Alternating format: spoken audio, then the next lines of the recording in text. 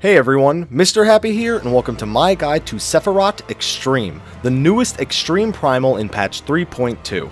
To enter this fight, you must complete the quest When the Bough Wakes from the Rising Stones in Mor Dhona, which requires the 3.1 story to accept. Immediately accept the next quest after defeating Sephirot normal mode and handing that quest in. Then, just grab 7 friends and a minimum item level of 205 and you're good to go. This fight drops I-220 weapons for every job, as well as a new mount and a few crafting materials. This fight is broken up into three phases. If you'd like to skip to a specific phase, please use the annotations in the top left hand of the video. If you're looking for a general ability rotation and diagrams that are used in the guide, please see the description for a Google Doc. Phase 1 begins when you engage Sephirot, and has him rotating between two big mechanics until he hits 65%.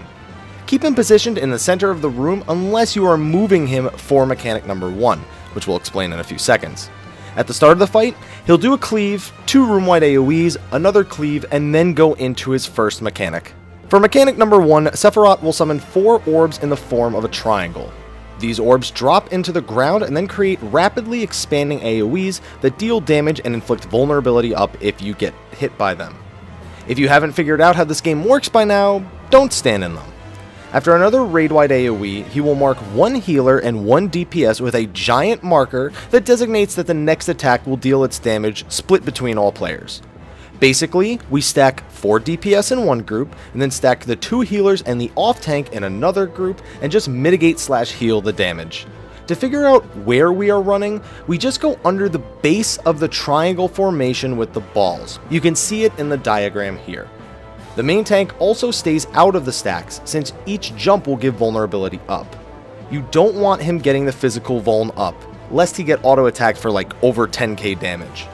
After the second split damage marker stacks hit, quickly reposition Sephirot to the center of the room. He'll do two room-wide AoEs, followed by a super tank buster, designated by him winding up one of his fists. Mitigate this with cooldowns, and be ready for him to follow up with another cleave plus an auto attack. After this, he will go into mechanic number 2. Mechanic number 2 has him summon a single expanding ball AoE, and another room-wide AoE while that's dropping. Everyone should stack up near the ball without touching its AoE like seen here. Sephirot will then place 5 green AoEs and a single purple AoE on members of the raid. These AoEs just do damage, so make sure no two people are overlapping. There are plenty of ways to spread out for this mechanic, a few of them shown on the screen right now, but really just make sure that you're spread out without overlapping and be behind Sephirot. After he places the AoE, he will begin charging up a 180 degree cone in a random raid member's direction, which is why you all stack together to bait it towards that expanding AoE. This cone might be 180 degrees, but its origin point is slightly behind the center of Sephirot's hitbox, so try not to be directly on his flanks. You're not safe. Heal up after the AoEs explode. You'll do two more big AoEs, another big tank buster plus cleave, and then he'll repeat mechanics 1 and 2 until he hits 65%. At 65%, Sephirot will go into his ad phase he'll start charging his limit break bar, which if it hits 100, it's lights out for you. You can see it over on the duty list. Now there are two types of ads in this phase. You'll have to fight 2 Kachnas and 12 Binahs. Assign a tank to each of them, ensure that they stick to their ad type. Kachnas have a tank buster they use every 10 to 15 seconds or so that inflicts magic vulnerability on its target tank all of the Kachna's damage is physical, so this doesn't make that tank take more damage. However, the Binah's attacks all do magic damage, so if a Kachna tank gets hit by a Binah, they're gonna feel the pain. Also, whenever any of the ads die, they explode. Binahs explode for 2k damage to the raid, while Kachnas explode for 10k damage. At the start of this phase, 3 Binahs and 1 Kachna will spawn. The Binahs spawn in groups of 3 every 20 seconds or so in the positions shown on the screen in this diagram, while Kachina number 2 will spawn around the same time as Binah set number 3 or as soon as you kill Kachina number 1. For kill order, you can kill Binahs number 1 through 6, then Kachina number 1, then Binahs number 7 through 12, then Kachina number 2. We actually did it the opposite way, so either way works, but I think this should be a lot more manageable to kill the Binahs first. Just remember to watch the Binah's tank health when the Kachna dies. In general, try to keep everyone's health at pretty high values, especially when a Kachna is about to die.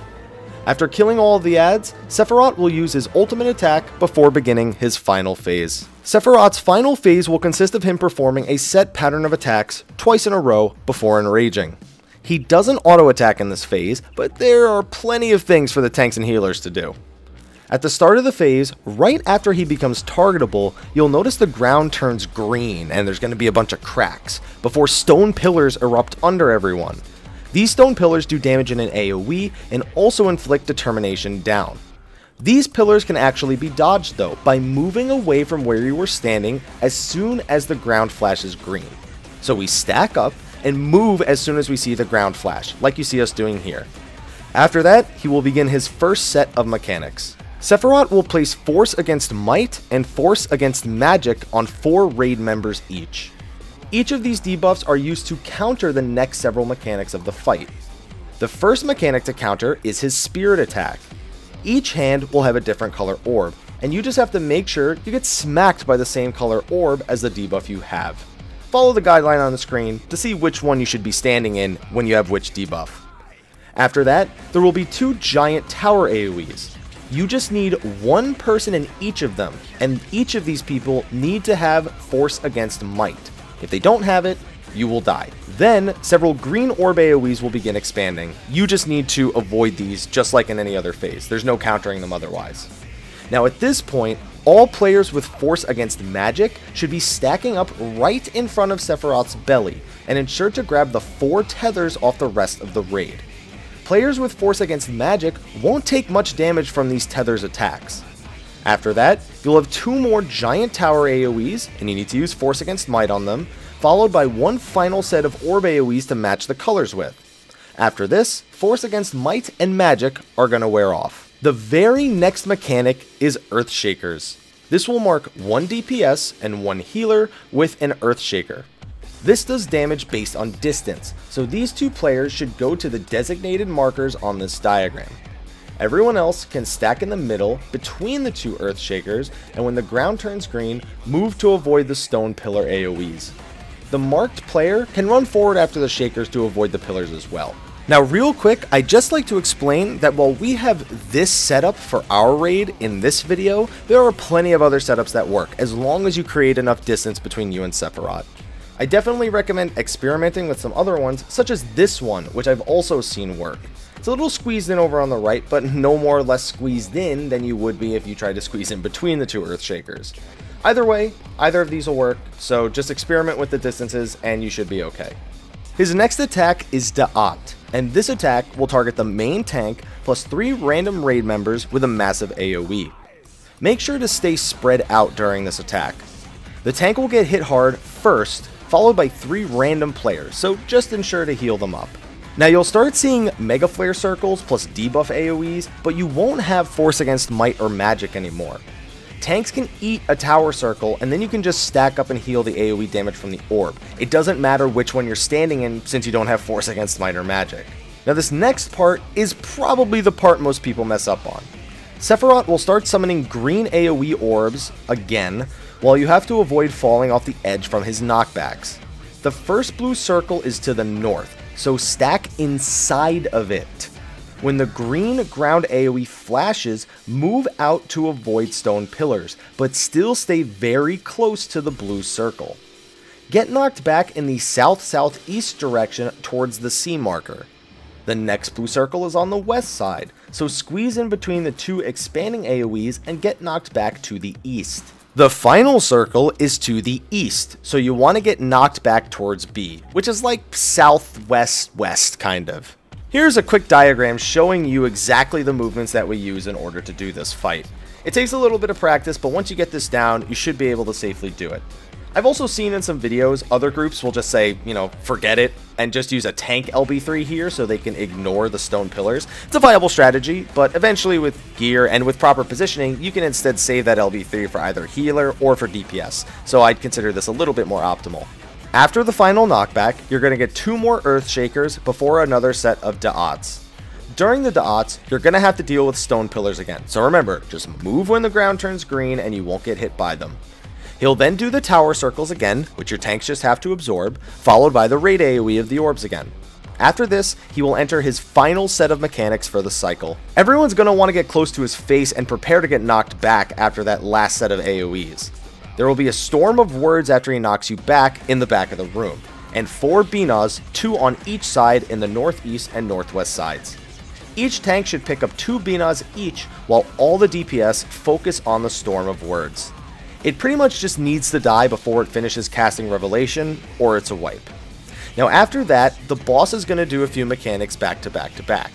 He's going to do a raid AoE, followed by tank circle AoEs and a set of stone pillars. He's going to do another raid AoE, and then there's going to be a little short delay before he does a third raid AoE. During that delay, you'll want to kill the Binahs, which again are exploding for about 2000 damage each. After the last raid-wide AoE, everyone can hover around the AoE circle left behind by the Storm of Words, and stand in it to get knocked above the swipe. At this point, Sephirot will repeat all of these mechanics again in the exact same order. After the second swipe, he will enrage and then just swipe the party off the edge. Avoiding the Stone Pillar's determination down and keeping people alive is top priority to meet the DPS checks in I-210 gear. With some crafted gear or Alexander normal gear, these DPS checks should be severely overgeared. Just keep in mind that it's going to be rough learning this process for the first time, so be a little bit lenient on your friends, please. And that's a wrap for Sephirot Extreme. Thank you for watching this video guide. Be sure to like, favorite, subscribe, and share, and stay tuned for all the latest news, information, and guides for patch 3.2. Also, be sure to check out my live stream if you want to check out some Final Fantasy XIV and other games as well. Anyway, I'll see you guys in the next video. Be on the lookout, and until then, take care.